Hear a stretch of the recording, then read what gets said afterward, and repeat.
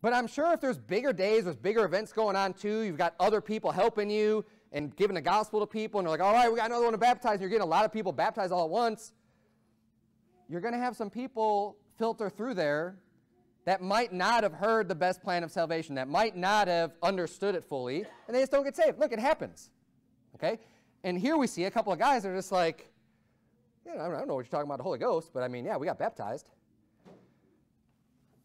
I mean, I got baptized as a baby. It doesn't mean anything.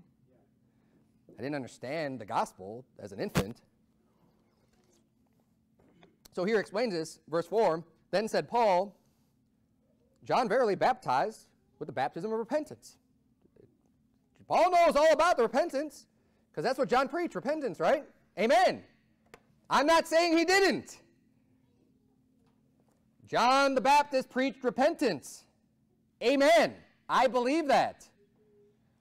John the Baptist did not preach you have to turn from your sins to be saved. John the Baptist preached repentance. Amen. I preach repentance. Amen. I don't preach you have to be to turn from all of your sins to be saved.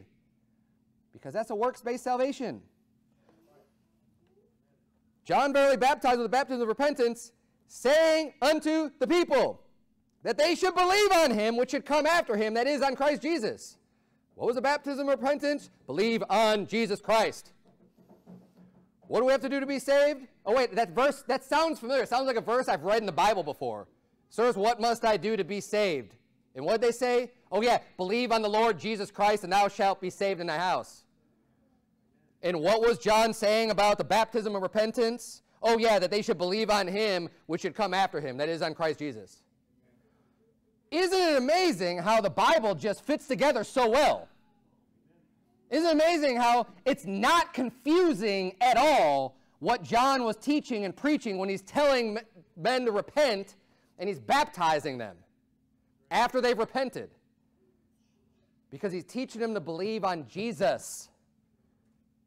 There's nothing confusing about that. There's no contradiction. The confusing part comes in is when liars and deceivers come in and want to tell you that a word means something that it doesn't mean. That's the confusing part. The word itself, repent, means think again in its most literal, basic form. When you put it in context, it can, it can you know, be applied to have a meaning very similar to that. But the context is going to determine exactly what it means. It could be a turning. It can be, you know, the rethinking, the literal, the most literal sense.